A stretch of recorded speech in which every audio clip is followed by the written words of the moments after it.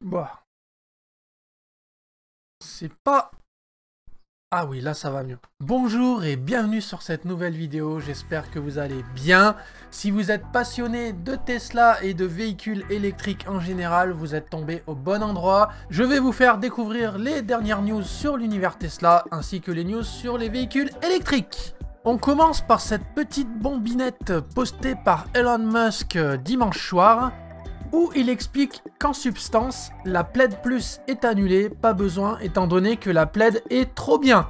C'est en ces quelques mots que Elon Musk a annoncé ce que certains euh, sentaient venir.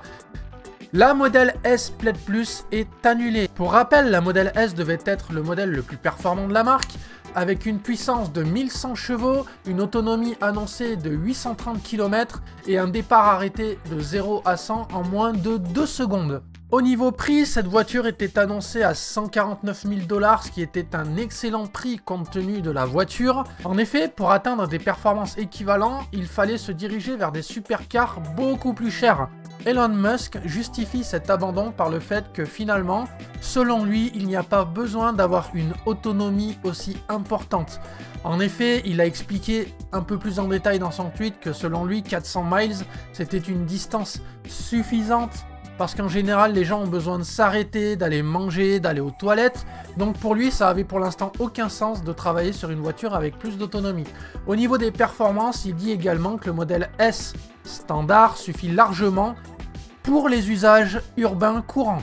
Alors on ne sait pas exactement si ce sont les vraies raisons de l'annulation de cette voiture. N'oublions pas que nous sommes en pleine pénurie de composants, donc ça peut justifier aussi l'abandon de ce modèle pour se recentrer sur les modèles qui seront certainement les plus vendus.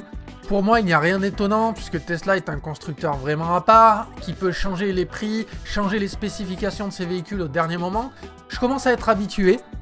Donc voilà, Elon Musk a décidé d'annuler cette voiture. Bon, il n'y aura pas de nouveaux fleurons chez Tesla, mais je vous rassure, les autres voitures font très très bien le job. Big Brother is watching you. Comme vous le voyez dans cette news, Tesla va surveiller les conducteurs en mode autopilote via la caméra embarquée dans le véhicule pour voir s'ils sont attentifs. Pour ceux qui ne le sauraient pas, sur les Tesla Model 3 entre autres, vous avez une caméra dans l'habitacle face au conducteur qui pour le moment était désactivée mais qui va être activée pour surveiller le conducteur quand il activera le mode autopilote. Pourquoi l'activation de cette caméra? Eh bien c'est simple, beaucoup de conducteurs abusent de l'autopilote et le bernent pour se mettre par exemple à l'arrière du véhicule quand l'autopilote est enclenché ou pour ne plus surveiller la conduite du véhicule. Je rappelle, l'autopilote est un dispositif qui facilite la conduite mais il nécessite néanmoins toujours l'attention du conducteur en cas d'urgence. Jusqu'à présent, quand vous activez l'autopilote, pour vérifier que vous êtes bien attentif, le véhicule vous demande simplement de garder les mains sur le volant ou de faire un petit mouvement de volant de temps en temps pour s'assurer que vous le tenez bien en main. Divers dispositifs existent pour le berner, comme des poids qu'on peut mettre sur le volant. Pour résoudre ce problème, Tesla a donc décidé d'activer la caméra incluse dans le véhicule pour surveiller en temps réel le conducteur. L'article nous explique que c'est la mise à jour 2021.4.15.11 qui va introduire cette nouveauté dans les véhicules Tesla. Pour ma part, j'ai quand même été vérifié sur un site qui est assez intéressant, qui s'appelle Tesla Software Updates, qui lui annonce que la mise à jour en question pour les véhicules européens, du moins, devrait être la 2021.4.18.2. Actuellement, si vous avez votre Tesla à jour, vous êtes en version 2021.4.18. Donc c'est-à-dire qu'a priori cette version va être un upgrade. Comme le montre très bien la release notes de la mise à jour, je vais l'agrandir un petit peu. C'est sans équivoque, the cabin camera above rear view mirror can now detect an alert driver inattentiveness with autopilot is engaged. La caméra embarquée dans le véhicule peut maintenant détecter et alerter le conducteur quand il n'est pas assez attentif, quand il a enclenché l'autopilote. Il est également précisé dans les release notes que la caméra n'a pas pour but d'envoyer des informations à Tesla et qu'on peut, en cas de doute, désactiver le partage d'informations directement via le menu dédié. Et pour ceux qui ne seraient pas encore au courant, je vous rappelle que la technologie des boîtes noires est prévue pour très bientôt, elle sera embarquée dans tous les véhicules de toutes les marques.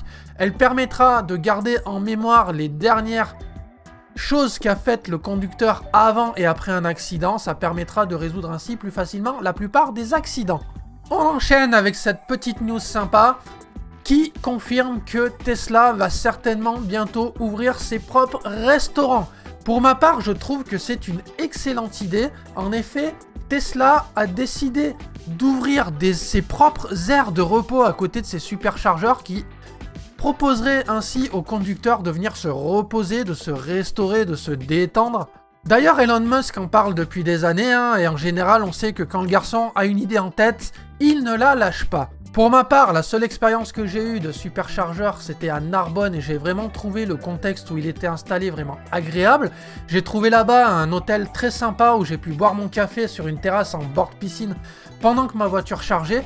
Malheureusement, d'après vos remontées, d'après les remontées des gens qui m'écrivent dans les commentaires et par mail, et des gens que je vois aussi en vrai, bonjour Marc, tous les superchargeurs ne sont pas aussi bien lotis que le superchargeur de Narbonne. Le fait que Tesla décide de prendre en main entièrement la partie supercharge en y intégrant ses propres restaurants et ses propres aires de repos, je trouve que pour moi c'est une très bonne idée parce qu'ils vont pouvoir gérer la façon dont ils veulent gérer le repos de leurs clients et la satisfaction de leurs clients de A à Z. Excellente nouvelle pour Tesla, en effet, la Tesla Model 3 ravit à la Renault Zoé le titre de voiture électrique la plus vendue en France. En effet, entre le 1er janvier 2021 et le 31 mai 2021, 8083 immatriculations ont été effectuées pour la Tesla Model 3 contre 7448 pour la Renault Zoé. Donc la Tesla Model 3 toutes versions confondues, est le véhicule électrique le plus vendu en France en ce début d'année. Bref, on risque de croiser beaucoup de nouveaux amis sur les routes et de faire de plus en plus de belles rencontres au superchargeur. On finit ce nouveau news Tesla par cette news de Automobile Propre qui nous annonce que BMW, avec sa BMW i4, va peut-être enfin sortir une vraie rivale à la Tesla Model 3.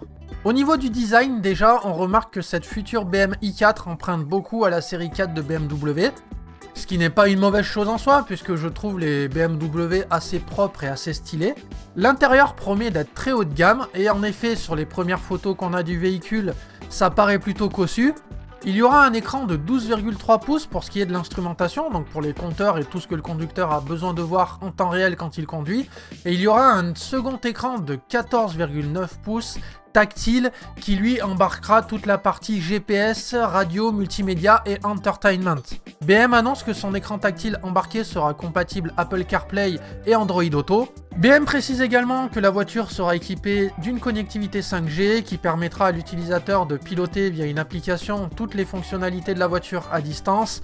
BMW précise également que la voiture sera compatible avec les mises à jour OTA, Over the Air, qui permettra donc comme les véhicules Tesla de mettre la voiture à jour directement via un réseau Wi-Fi ou via la 5G. Il y aura deux motorisations disponibles. Tout d'abord la BMW i4 eDrive 40 qui embarquera un moteur électrique de 250 kW et 430 nanomètres de couple dans un moteur arrière, donc la voiture sera à propulsion. BMW annonce que ce véhicule sera capable de faire le 0 à 100 en 5 secondes 7 et qu'il aura une vitesse maximale de 190 km/h. Une deuxième version du véhicule un petit peu plus performante sera proposée, la BMW i4 M50, qui sera équipée d'une transmission intégrale. Celle-ci cumulera 400 kW de puissance ainsi que 795 nanomètres de couple, c'est juste énorme. Le véhicule sera capable d'atteindre 225 km/h et sera capable d'abattre le 0 à 100 en 3 secondes 9. Elle bénéficiera également d'équipements supplémentaires comme les suspensions adaptatives. BM annonce que quelle que soit la version du véhicule, l'autonomie restera à 600 km parce que quelle que soit la version du véhicule choisi, ça sera le même pack de batterie qui sera fourni avec. Maintenant que je vous ai bien alléché avec cet article sur BMW qui va proposer un véhicule équivalent à la Tesla Model 3, je vais arrêter de vous faire rêver tout de suite en vous annonçant les prix des futurs véhicules. En effet, le modèle de base de cette i4 sera proposé à pas moins de 59 700 euros. Je vous rappelle que le modèle de base actuel de la Model 3 propose une vitesse de pointe de 225 km/h, un départ arrêté 0 à 100 en 5 secondes 6 et surtout un prix de 43 800 euros auquel il faut venir déduire les 7000 euros de bonus écologique, ce qui vous ramène la voiture à 36 800 euros. Clairement, au niveau du prix et du véhicule de base, non, BMW ne peut pas lutter. Même en ce qui concerne le modèle grande autonomie, Tesla a encore une longueur d'avance, puisqu'avec le bonus écologique actuel, vous enlevez 3000 euros au prix de la voiture, ce qui vous fait revenir le véhicule à 49 990 euros. Le véhicule de BMW au niveau de son design, de sa conception et de tout ce qu'il promet a l'air très intéressant. Par contre, au niveau du prix pour venir concurrencer la Tesla Model 3, on est quand même encore loin du compte. En effet, si on revient sur le modèle de base à 59 700 euros, il faudra enlever 2000 euros de bonus écologique, puisque je vous rappelle qu'au 1er juillet, le bonus écologique va passer de 7000 à 6000 euros pour les véhicules en dessous de 45 000 euros et de 3000 à 2000 euros pour les véhicules au-dessus de 45 000 euros. Étant donné que BM va vendre son véhicule en fin d'année, il bénéficiera de la nouvelle valeur du bonus écologique de 2000 euros. Donc une BMW i4 eDrive 40 vous reviendra à 57 700 euros. Le modèle haut de gamme, la BMW i4 M150, vous reviendra à 71 650 euros et elle sera hors bonus puisqu'elle dépasse le plafond qui vous permet d'avoir un bonus attribué. Voilà, j'espère que cette vidéo vous a plu. Si vous avez des questions, des commentaires, n'hésitez pas. Si vous voulez m'écrire ou que je sois votre parrain, vous avez mes coordonnées dans les commentaires de cette vidéo ainsi que dans le descriptif. Vous avez mon mail, mon code de parrainage. J'ai été ravi de faire ce nouveau News Tesla en votre compagnie. Je vous dis à très bientôt pour une prochaine vidéo. Ciao ciao